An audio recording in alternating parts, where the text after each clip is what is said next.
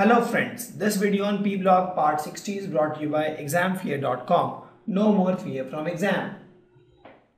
Let's talk about the xenon and oxygen compound. In fact, we have just seen that hydrolysis of Xe, uh, xenon tetrafluoride and tetra hexafluoride with water gives XeO3 that is xenon trioxide. Let me show you the reaction. Xenon tetrafluoride these reactions are important because we'll be getting this xenon trioxide. So you get xenon plus xenon trioxide plus my HF and some oxygen molecule. We can balance this reaction. This is will be 12, this will be 4, this will be 2, 24 and 3. Okay, if you talk about this reaction, xenon hexafluoride and you do hydrolysis with water, you get again xenon trioxide and HF. Okay. And again, you talk about more oxygen compound, we have seen that uh, the partial hydrolysis of XeF6, we do a partial hydrolysis of XeF6, uh, we just saw this reaction, you get XeOF4 once. And if you do the partial hydrolysis with little bit of more water, but uh, more water, you get XeO2, F2 and 4HF. Okay, these are all oxyfluorides xenon oxyfluoride, xenon dioxyfluoride.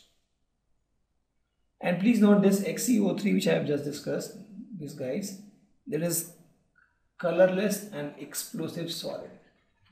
Colorless, but it is explosive solid. Okay, this explosive. Talk about the structure of this XeO3. This is xenon 1, 2, 3, 4, 5, 6, 7, 8 uh, oxygen to one two oxygen and again oxygen right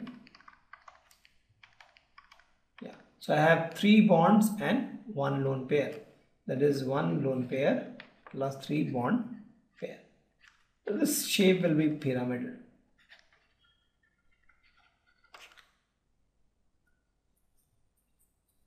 okay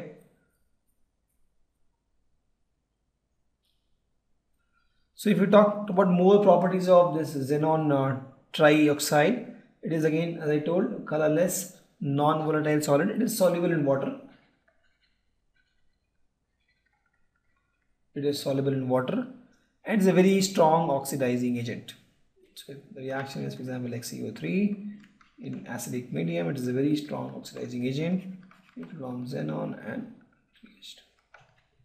so we see it is getting reduced on its own right from plus 6 to 0 that means it is a strong oxidizing agent okay so if you talk about XeOF4 this particular thing it is my colorless and volatile liquid. This is a liquid actually. Talk about the shape of XeOF4 so I have a xenon. 1 2 3 4 5 6 7 8 one oxygen will take two bonds. One fluorine two fluorine three fluorine and four fluorine. And this is my lone pair. So i have one lone pair plus one two three four five bond pair. Okay? So with this i have a square pyramidal structure.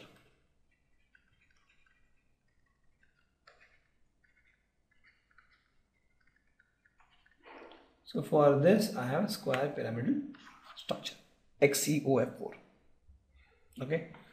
Now let's take some uh, uses of this uh, noble gas and the various uses include if you talk about the helium helium is a very light gas it is non-inflammable. So it is used in balloons. Here helium is used. It is lighter and it is non-inflammable. Okay? And uh, it is also used in nuclear reactor, helium. We have seen the reaction of helium in the nuclear reactor. It is also used for, helium is also used for cryogenic agent, where you take a, carry the experiment at a very low temperature. okay so it is also used helium is also used for mri by magnetic uh, resonance imaging that is used for medical uh, industry in the medical industry to see your brain or different parts of the body to, to diagnose a disease actually helium is also used as uh, my sol solvent actually. I won't say solvent. It is used as diluent. Yeah it is used as diluent. Where? For oxygen in the modern diving apparatus. Because why? It is low it has very low solubility in blood. We'll talk more about this in the next slide. Since uh, it has low solubility in the blood helium is used here also. Helium is used here also okay. We talk about the neon. It is used for fluorescent lights. Argon since it is inert it is used in electric bulb. Argon.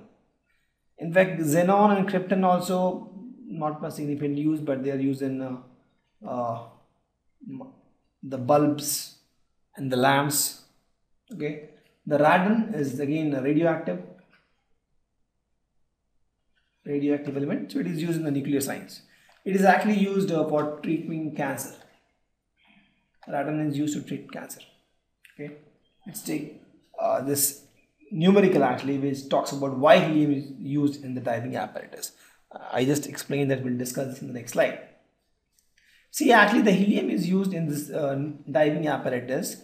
One is because it is helium low solubility in the blood. But is that the reason? Big deal. See plus helium is non-toxic to human why? Because it is inert. Okay. Now, if you talk about the scuba divers, when they go at a high depth, the pressure is very high. At this point, pressure is high. Okay. Now, if you talk about the normal air, normal air has 75% nitrogen. Okay. And oxygen. Now, if, if the scuba diver breathes normal air. Let's suppose this has normal air. If it has normal air, it will have 75% nitrogen also in this. Now at a high pressure, at the lower depth or at a great depth actually, the pressure is high, the solubility increase. Solubility of gas, we have seen that. Solubility of gas in liquid increase with pressure. Increase the pressure, the more is the solubility of gas and liquid. This is something we have seen in the uh, previous to previous chapter. If you don't know this concept, please watch my previous videos where we explain this. Now at the such a great depth, the pressure is very high and thus the solubility of gas that is nitrogen here in the liquid that is blood here right will increase.